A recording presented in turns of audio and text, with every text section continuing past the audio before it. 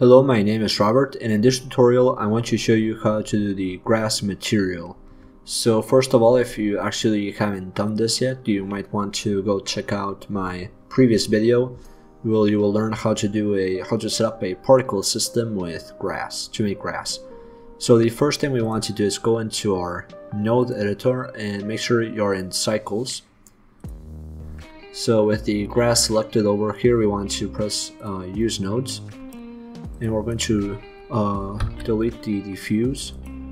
And the first thing we're going to look up is RGB and we want a really uh, light green like really really light. And this will be our glossy okay? So let's hook this up to the color and add a roughness around 0.4 maybe just a little bit more uh, 0.405 will work fine.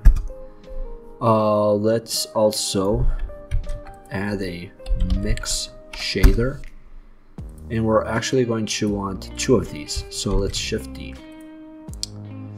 And this will go down here and this will go up here.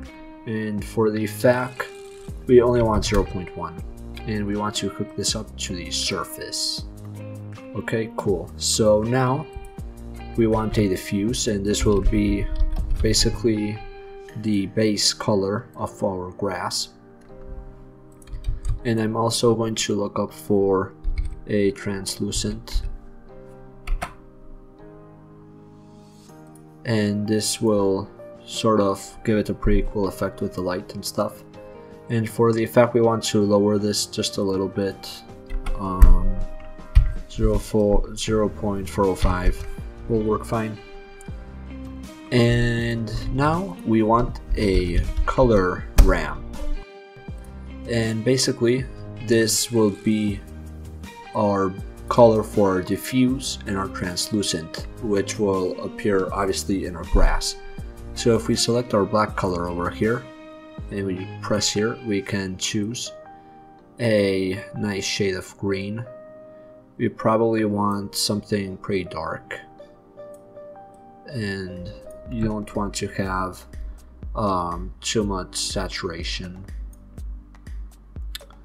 Uh, that will work fine. And now click on the white color and let's make a light green. Um, yeah it should work fine.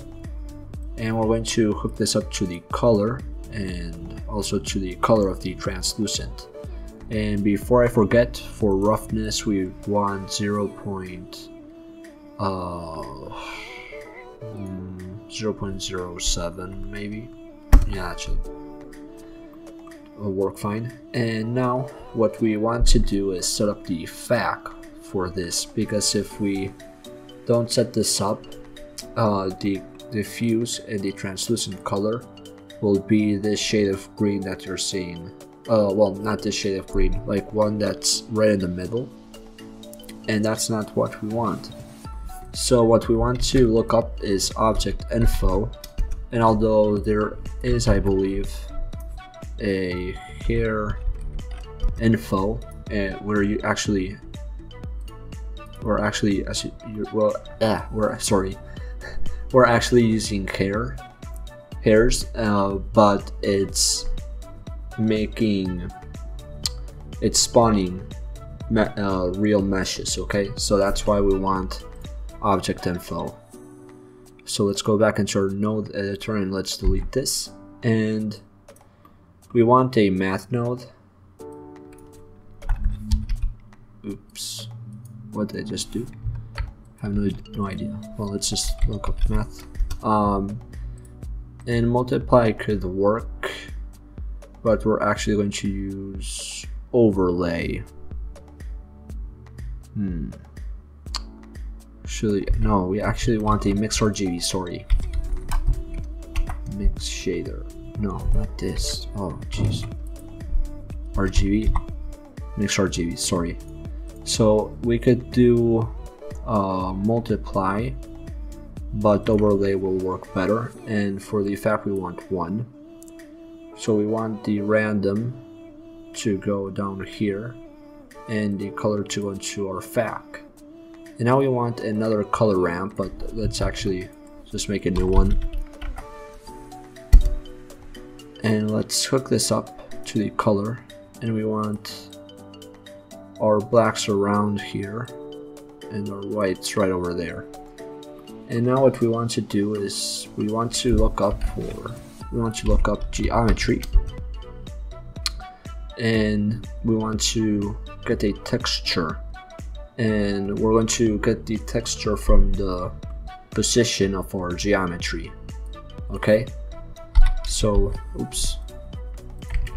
Shift A noise texture and we're going to set the position to the vector so it knows where that texture will be. And the FAC will go to the FAC of the color ramp so you should have something like this.